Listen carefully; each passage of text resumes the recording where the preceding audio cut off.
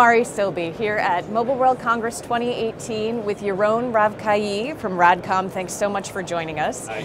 And RADCOM has been remarkably disruptive in bringing cloud native solutions in the service assurance market uh, to the industry at large, working with some of the largest carrier operator customers that are out there.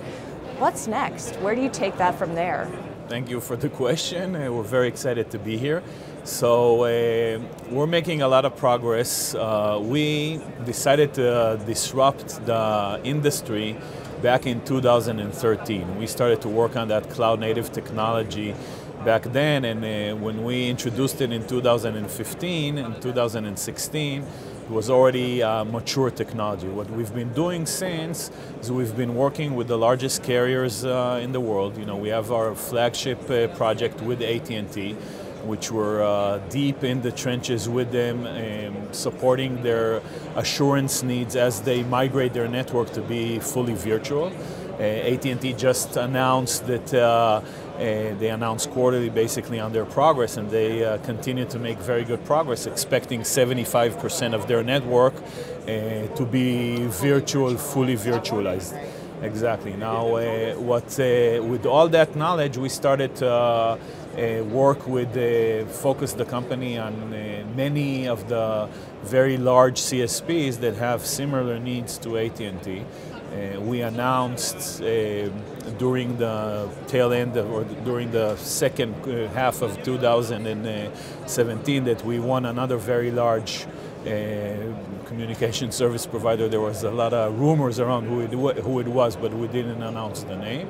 We've been implementing with them. Now we, are taking all that knowledge and continue to focus on really helping the communication service providers migrate their network uh, to NFV. Assurance is a huge need. Uh, they uh, want to gain uh, the knowledge that uh, and the technology, of course, that the disruptive technology that uh, is making AT&T so successful, and, uh, and, we're focused on that. Now, one of the things that happens with the the uptake and adoption of NFV is suddenly you're getting a lot more intelligence from a mix of different types of networks, from the physical, from the hybrid, from the virtual. How do you manage all of that incoming? The complexity is very high in this industry. What we've what we've done, we've done two things. We made sure that the cloud native technology can deal with any type of network, and I'll explain that in a minute. But we also, and I think you saw the uh, very exciting announcement that we did here in Mobile World Congress, we announced a GA version of a, a fully cloud native virtual uh, packet broker. Basically, we call it our network visibility layer. With those two uh, products, we basically completed our network visibility suite. That's, a, um, that's the disruptive technology and the additional piece that we needed in order to make sure that we can cope with any challenge that the industry is facing in a very, very advanced and unique way that no one else uh, today has. We've already uh, implemented a lot, of it, a lot of it with AT&T, so it's uh, field proven and uh, this we have it's not vaporware. Yeah, exactly, and we have all, and not not only the technology and uh, as you're uh, as you're mentioning, but also the knowledge that we're gaining. and you know, working with AT&T day in day out, it's not only the technology. You need sometimes to change the technology. You see something that you did is not uh, like you thought it's going to behave in the network. So that uh, live um, uh, knowledge, that real world implementation in the field, we're taking that to our customers. Now, what we can do basically today with all this suite of technology, we deploy everything as cloud native but we can uh, assure the transformation between the physical and the virtual. And that technology, the visibility and the packet brokering technology, everything that's working within that cloud allows us basically to manage the packets in a very smart way and get all the insights out of those packets, whether we're in the physical world or the virtual world.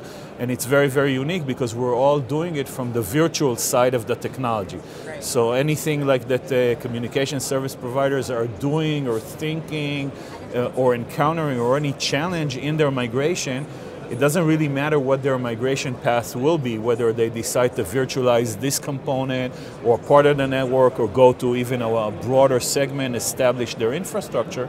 They can get very advanced answers from us and, and the assistance and all the know-how that they need in order to uh, really progress with their implementations. Right. So here at Mobile World Congress, obviously two things that we're hearing quite a bit about are 5G and also the Internet of Things. How is RADCOM prepared to help its carrier customers adjust to those shifts? Definitely a huge buzz and a huge uh, maybe uh, amount of energy in this conference around 5G.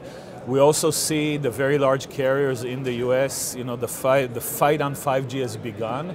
And I think if the industry last year expected the 5G to be a 2020 uh, adoption thing, I think we're going to see 2019 with a lot of trial activity already happening at the second half of 2018 and we're gearing up for that. You know, of course, from the fact that we're participating in these huge NFV transformations, uh, 5G is riding on top of NFV, so it's a big part of that.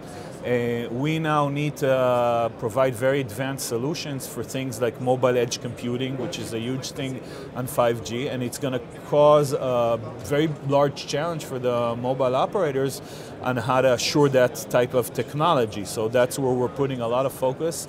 We're certifying everything. We're changing architectures to be much more agile and uh, uh meet the you know the needs of mobile edge computing. The second thing is network slicing um, which serves everything, including IoT.